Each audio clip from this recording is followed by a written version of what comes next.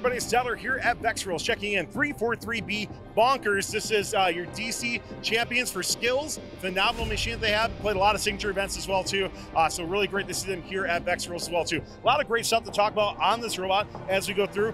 Really like their wheel config. A little bit unique from what we've seen for other teams as well. So we'll be covering that. G tier hang as well too. This we'll be going into and a lot of great stuff as we follow through this robot and their tribal journey. Coming up here on Pits and Parts. This video on fun is brought to you by viewers like you and also in partnership with the following. The Robotics Education and Competition Foundation provides fantastic programs for students from elementary school all the way through college. These include VEX, aerial drone competition, online challenges, JROTC, girl powered, scholarships, certifications, and so much more. To discover these exciting opportunities, visit recf.org and get connected. Zach, let's start out on the bottom here talking about your uh, drivetrain and drive base. When we were talking earlier, you got a unique set of wheel config, so walk me through everything you have. Yeah, of course. So to start out, we have a seven motor, 600 RPM drivetrain with 3636 gearing. Earlier this season, we've been running a fast drivetrain, so 452 3.25, but we wanted to go faster for Worlds. However, we noticed a lot of problems with control, so we have this one traction in the center. The reason that we don't have double traction is because when the intake is down for descoring, this, tra this traction wheel is closer to the real center of the bot when you consider the position of the intake. Otherwise, we have seven motors because we wanted to run a faster drivetrain without losing torque. So we have this 5.5 watt motor, and this is a 12 tooth pinion on the same axle as this wheel. And you don't see it, but there's a 36 tooth here up above the 12 tooth pinion. And as for just a nice side accessory, we have these side rollers. So when we uh, bowl, we can ride off the wall really nicely and we don't get stuck on anything something I want to ask you on your drive base, sir. Um, so I noticed you got the sleds in the front here, right? Um, based on that wheel config and those sleds, are you only able to go over the barrier one way, or are you able to go over both ways? We're only able to go over the barrier one way. This is deliberate. Our center of gravity is pretty far in the front, and we wanted this back wedge to be able to push balls over really nicely. And also a problem we noticed with other bots that have sleds on the back, especially flat bots, is that they ride up yeah. while on the tri balls while they're descoring. So this wedge really prevents that from happening. It allows us to descore really effectively totally makes sense on there. Alex talked to me about that tri ball coming in as well with the intake, and then we got to check out uh, your G tier hang as well. But I'd love to hear about any major changes you made coming in the worlds or any of the like SIGs or states that you made big changes to. Yeah, so on both fronts, we've made a lot of a lot of changes, a lot of updates, uh, especially as the season progressed. Before we used to run a barrel intake with rubber bands and the sprockets, uh, but now we run flex wheels because we had some entanglement issues earlier in the season. Uh, we also run um, these intake sleds that are a lot larger now. Uh, we have um, a trap door mechanism. So what this allows us to do is that when we're uh, when we're match loading, we can put uh, balls in here, and uh, before we, before we outtake, it, it rests above the ground. So it's a lot easier to cross the barrier. It's also a lot harder to seal. And then uh, once we outtake, it's easy to come out. And then while the tri balls come in, they cannot flip outside of the bot. Um, other than that, we, we now we used to run a half watt motor, uh, half watt intake. Uh, now we run a full motor intake, and then our hang uh, we completely changed. Before we had a uh, C tier uh, horizontal mechanism, uh, but now we have this G tier hang that extends out like this, and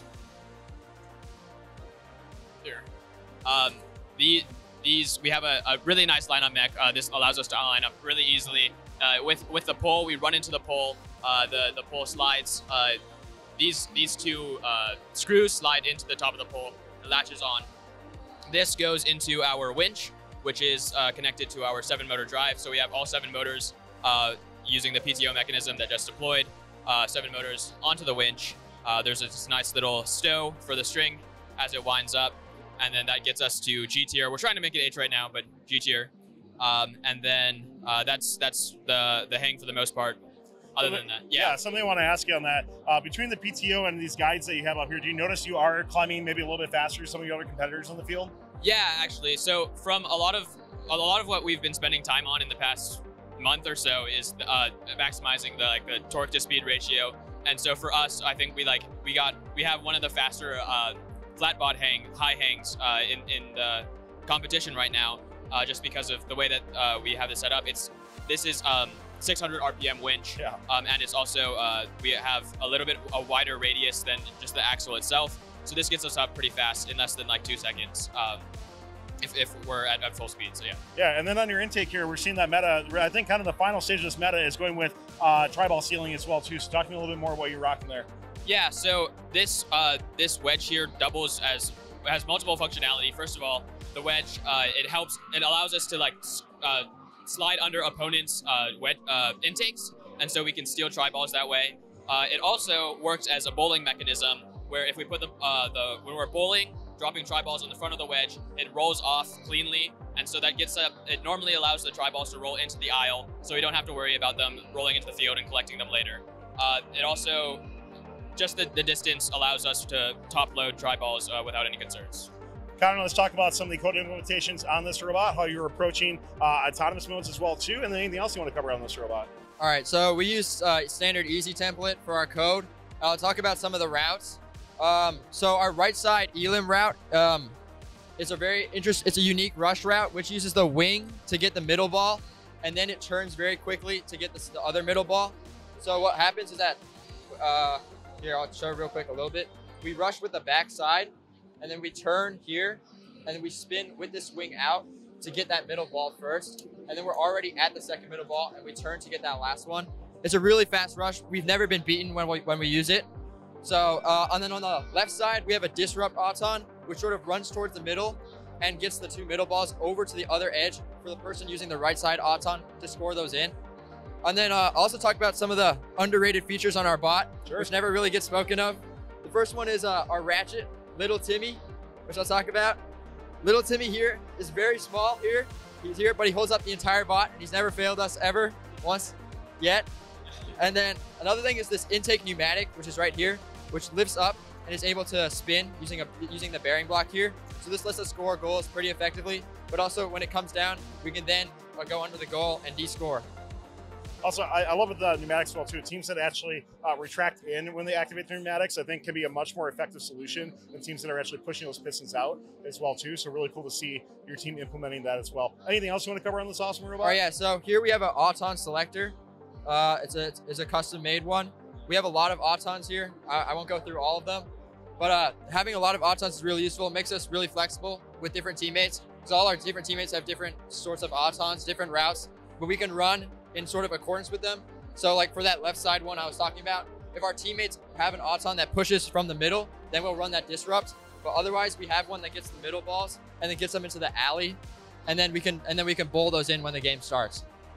Well, phenomenal, Sheen. Uh, bonkers, by the way. Congratulations on a great season. We can't wait to see how you do here at Vex Worlds. Thanks for taking time to detail more about it. Great stuff teams can learn from. We can't wait to see how you do. Thanks a lot.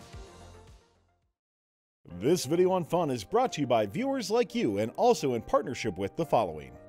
The Robotics Education and Competition Foundation provides fantastic programs for students from elementary school all the way through college. These include VEX, Aerial Drone Competition, online challenges, JROTC, Girl Powered, scholarships, certifications, and so much more. To discover these exciting opportunities, visit recf.org and get connected. Don't forget to like, subscribe, and ring the bell to stay up to date on our new videos.